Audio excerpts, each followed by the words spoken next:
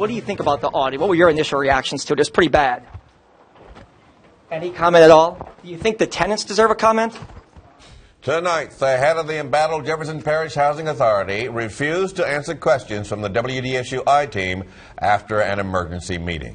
The meeting was called to address the findings in a troubling 70 plus page audit that outlined mismanaged funds and improper contracts at the Public Housing Agency.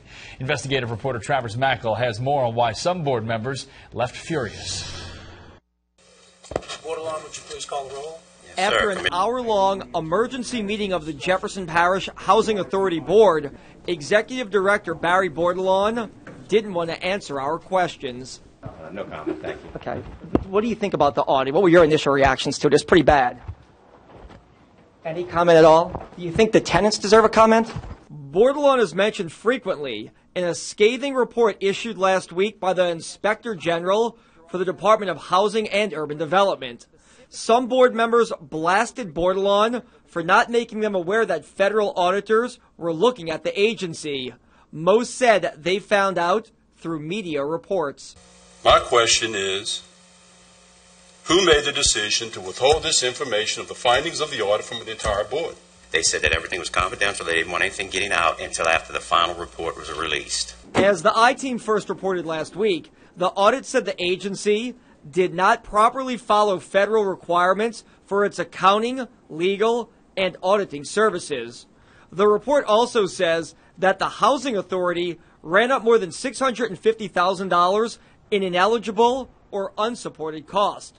The feds recommend that the parish repay that money immediately. The audit was for fiscal years. But a lawyer hired by Bordelon says the findings are being challenged and questioned the HUD inspector's credentials.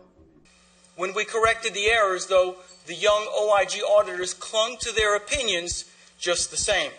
And board chairman Patrick Pearson was quick to dismiss the audit's serious findings. I think that this is much ado about nothing. And after those comments, the board chairman was firm. He says he believes the executive director has done nothing wrong and will not ask him to step down. I think he's completely um, innocent. I don't think he's done anything wrong. But HUD auditors disagree, and so do some board members. We need to be made aware when something is going on so that this doesn't happen again. I'm Travers Mackel, WDSU six months later. Board members also questioned how Bordelon didn't use a professional services contract to hire attorney Thomas Flanagan, whom you heard from in that story, as legal counsel. The board says starting next month, it will no longer accept payments for attending meetings. The Jefferson Parish Council meets tomorrow morning at 10 and could look into taking action against the board and Bordelon.